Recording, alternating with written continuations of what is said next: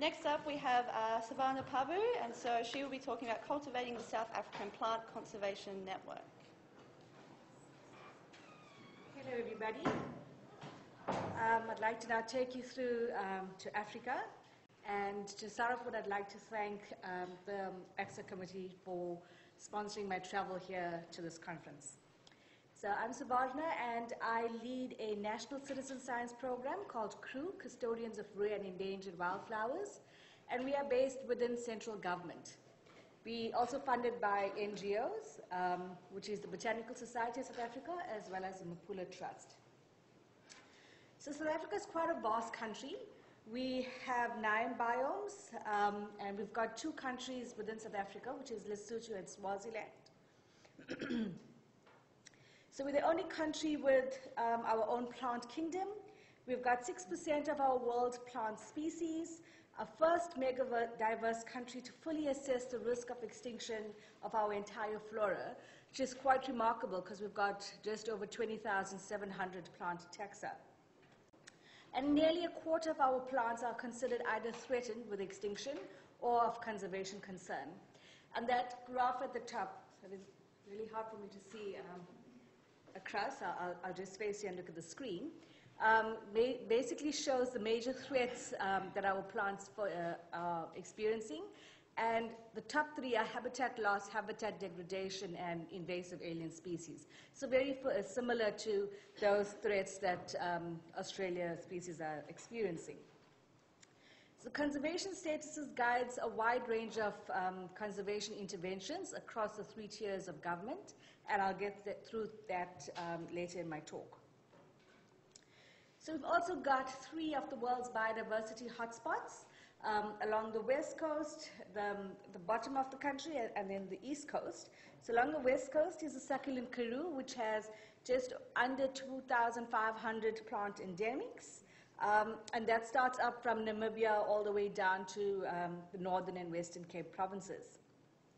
The Cape Floristic region, which uh, most people internationally are very familiar with, has just over 6,200 endemic plant species and the Albany, Maputaland, Pondoland hotspot, which starts from the Eastern Cape province through KZN and up into Mozambique, has just under 2,000 endemic species. Zoning into citizen science projects um, in the country. So we've been having various projects happening since um, the late 1940s. Um, and this table shows the various taxa um, and groups of species that citizen scientists have been working on. Um, and for this talk, obviously, I'm going to be focusing on one of the plant programs. So looking spatially at the scale of projects, we've got majority of our citizen science projects working at a national scale, um, and then a few um, area specific, and only two, uh, two programs are provincially specific. So looking at how our citizen science program fits into the government scheme of things, We've got the Department of Environmental Affairs, which is our national body. And then SANBI, South African National Biodiversity Institute, is the agency to do biodiversity work across the country. And we work with South African national parks, so all of our protected areas um, is managed by SANParks. And then we feed our biodiversity priorities to, for on-the-ground implementation with the various provinces. So all of those logos at the bottom are um, a few of our nine provinces. So it's similar to your states here.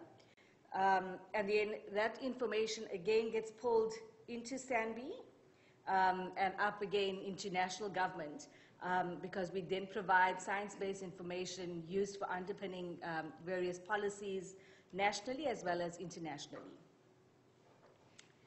So we also created the um, plant strategy for co plant conservation.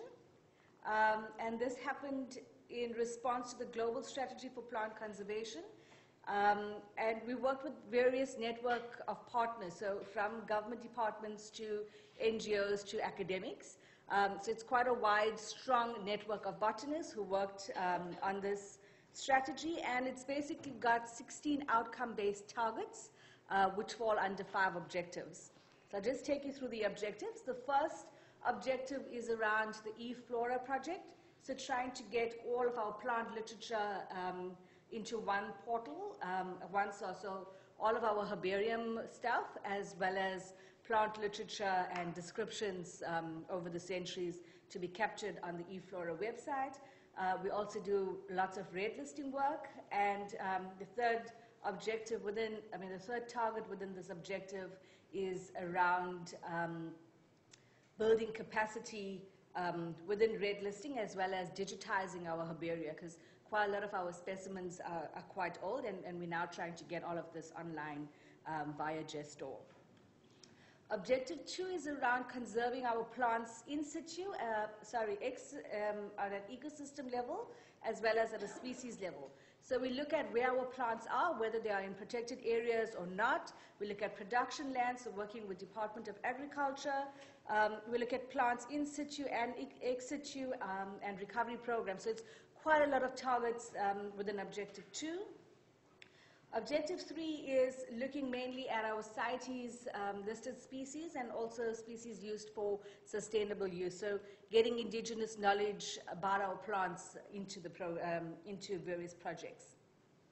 And then objective four and objective five is around human capital development. And being a third world country, we're very aware of um, the, the, threats of our plants We've got a very strong system um, and a strong network of botanists and students, but we're still finding that taxonomy is a global scarce skill um, that's happening, and we're facing, um, well, we're placing a lot of emphasis on getting students interested um, and into the sector. So we run various trainings at universities whereby I go out and I would do a guest lecture at a host of universities across the country um, speaking to them about threatened plant ecology, about various avenues of finding job opportunities and internships um, and bursary applications. And then we also take them out into the field doing specific uh, field work. So you can see with the array of photos, there's um, identification of tree species, um, monitoring specific threatened plant populations, um, also just identifying plant species to, uh, per plant family um, keys. Uh, we also focus quite a lot on internships, um, and although funding is very hard to come by, but we try on an annual, um, on an annual basis to get interns into the program. Um, and on, on, the left there is Somalis, and he's a, a, matriculant that we found based in a very rural village um, in the Eastern Cape province. And we managed to upskill this individual without any um, tertiary education. He's now a full-time employed student um, worker at the herbarium and we're now trying to get him um, to do his tertiary. Delish Schlingiwe and, and Davidine, and they came to us as master students and are now Red List scientists. And Mishlatse Mokhale um, was an unemployed student up in Limpopo province, so near Kruger National Park, if those of you that are aware of um, the province. And um, he's now working with the provincial department, um, being the botanist for the province. Um, so this heat map basically shows where our threatened species are. So the darker the blocks or the, the blotches, the higher the number of species of conservation concern in those areas. And for that, that reason, we've got crew citizen scientists based in these areas. Um, and down in the Western Cape, we've got a crew node. So there's three staff members um, within the province, and we, they support the various groups um, in the Western Cape. And then along the Eastern Cape, uh, Eastern Coast, we've got two nodes, one sitting in the Eastern Cape, and that's the area that has very few um, dark blotches. And that's because it's our huge data gap area in the country. So we've got a node there, and we've got a few citizen scientists starting up. Um, and then I work in Durban, which is in KZN, um, that's on the, on the top there, and I work throughout the, the country, so from KZN, Gauteng, um, Mpumalanga, and Limpopo provinces um, at the top. So basically, we provide um, an annual workshop for our volunteers where they get together and share their experiences and challenges over the year. We get plant specialists to come in and give particular plant courses, so either on a specific genus or a plant family, or we do ecology or pollination or um, bird monitoring. Um, so there's, there's various different courses that we provide, and then also during the course of the year, we would look at various identification courses. Um, we also create identification sheets So we pull out plant literature and we break down the botanical terminology so that a layman uh, on the street would be able to identify the particular plant species. So our groups do various things. Um, species monitoring, systematic sampling, environmental education. So it's not prescribed of what exactly a group would do, and it just depends on what the group dynamics is. So we just take you through the CREW data journey. So we, we get our um, records, um, distribution records from the red list assessment. We provide that to our citizen scientists, and they would go out um, collecting rigorous data um, using um, our data forms, and this is information that's required for the red list assessments, and they also collect plant specimens. Um, and that feeds into the two databases, so the CREW database as well as the national database.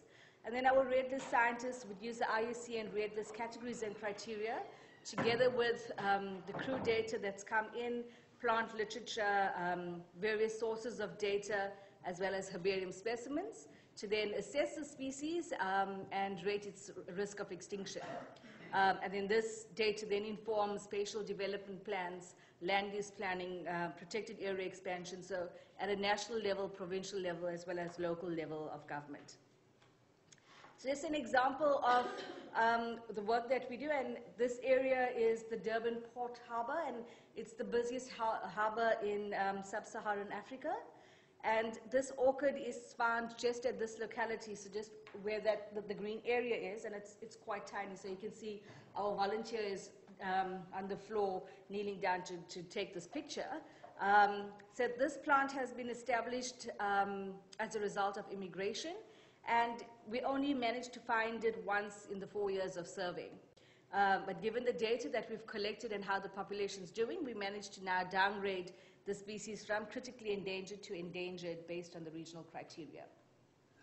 Um, we've also been doing quite well with our um, uh, data, and this is just a graph showing the um, various IUCN categories and the number of species um, nationally versus how much CREW has collected.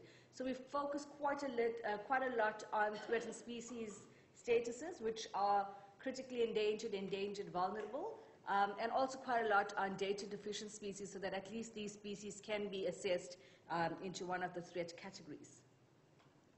Um, these are the taxonomic achievements by our citizen scientists. Um, and you can see there's just one plant named after the program itself, but all the rest are named after um, the citizen scientists that has found these, um, the particular species. So in, conclusion, I'd like to just thank all our citizen scientists for which none of the work uh, we do is um, ever going to be possible because we've got over 300 citizen scientists as compared to about six of us um, in the team nationally. And thanks for listening and any questions.